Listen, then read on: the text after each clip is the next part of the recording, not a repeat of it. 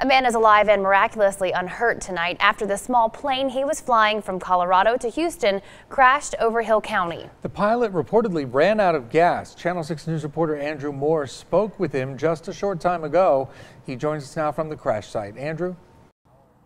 Doug and Leslie, officials say this plane behind me here hit the power line and flipped multiple times before landing, but somehow the pilot walked away without a scratch. Pilot Steve Thompson was planning to land at Hillsboro Airport to refuel. He was supposed to have an hour of fuel left at this point, but he says the plane was suddenly empty. He planned on landing on the road, but instead got trapped upside down in this field. Firefighters were able to get him out.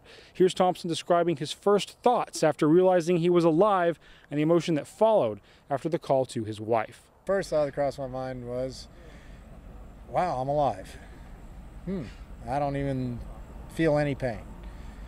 I'm alive. Okay. Oh, wait a minute. What if this thing catches fire? Oh, there's no gas. I did finally get to talk to her. It's real good. I mean, obviously she was concerned and and uh, glad to be alive.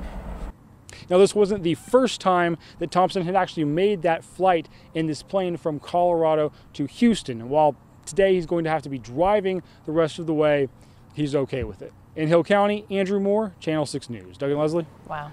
I'm sure he's very okay with it. All right, Andrew, thank you very much.